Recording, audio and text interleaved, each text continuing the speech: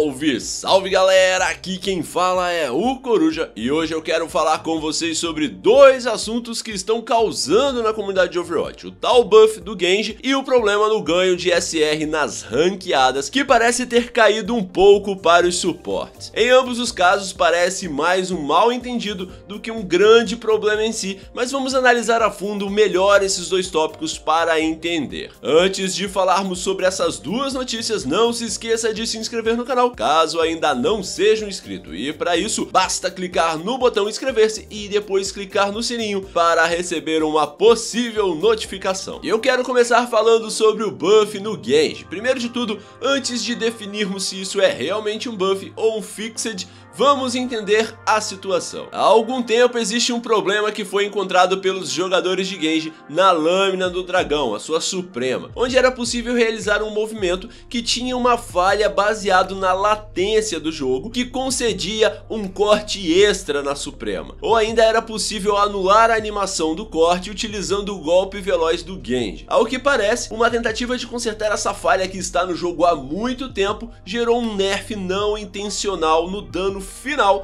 dessa Suprema do Genji. O Geoff Goodman, o responsável pelo balanceamento do jogo, tentou explicar melhor essa situação. Vamos ver aqui um resumo do post que ele fez no fórum oficial. Antes do último patch, a quantidade de balanços da espada poderia variar de acordo com a latência. Estranhamente, se você tivesse uma latência muito alta, poderia cortar mais vezes. Esse bug foi corrigido, e isso fez com que alguns jogadores conseguissem cortar menos do que estavam acostumados.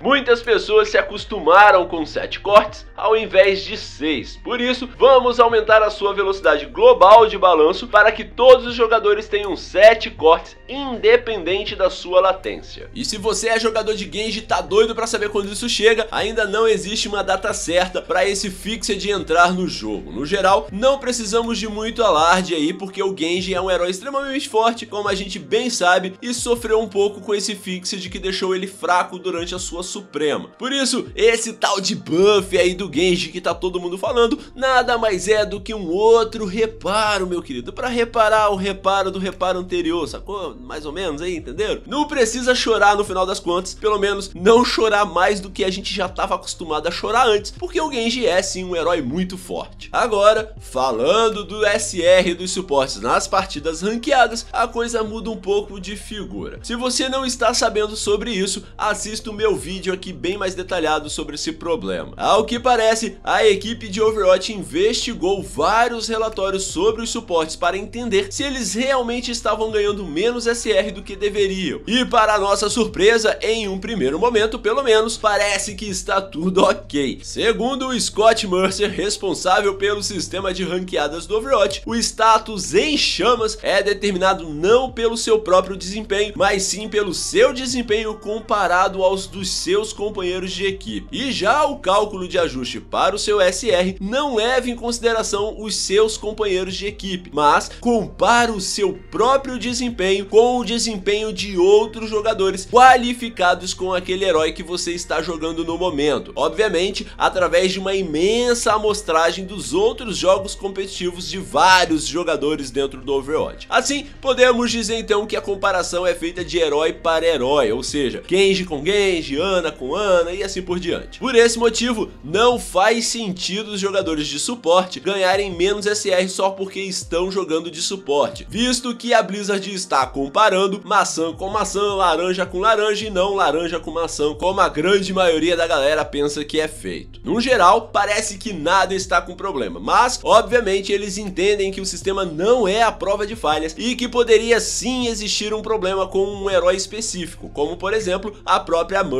ou ainda nas próprias palavras do Scott Mercer, é possível que um certo estilo de jogo ou alguma situação possa estar causando este ganho inferior de SR na ranqueada. Por esse motivo, eles ainda vão analisar e procurar possíveis problemas de uma forma mais específica e demorada. No geral, meu querido amigo suporte, o jogo exigirá um pouco mais de desempenho da sua parte, como eu falei no vídeo anterior lá que eu falei para vocês assistirem antes desse. Parece que esse ajuste no sistema de enxamas e no ganho de SR foi realmente problemático proposital para precaver que as partidas tenham jogadores que não contribuem tanto para a vitória do time e acabam ganhando assim um SR alto e mudando de ranking e acabando com partidas. Assim, então podemos dizer que a nossa luta versus o sistema de ranqueada não vai acabar tão cedo. Eu espero que eu tenha te ajudado a entender melhor esses dois pontos aí sobre o Gage e sobre o ganho de SR dos suportes. Caso você queira ver a postagem oficial, eu vou deixar o link aqui na descrição para que você vá lá, mas lembrando que está em inglês. Também não esquece de me dizer aí nos comentários se eu consegui te ajudar a entender um pouco isso e se você concorda com toda essa situação. E se você chegou até aqui, não se esqueça de deixar aquele like delicinha no vídeo e de compartilhar para ajudar o canal a crescer. Aproveita e me segue lá no Twitter e Instagram, links também na descrição. Eu espero que você tenha gostado, obrigado por assistir e até o próximo vídeo!